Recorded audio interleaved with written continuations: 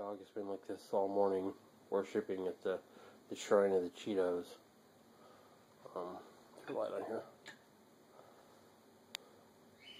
I should open them, huh? Do you want some? Yeah, so you understood that. I saw that ear go up. You want some, Zoe? These are the simple things in life that make every day great. Alright, I'm gonna give my dog some Cheetos, so I'll catch you guys later. Have a great day.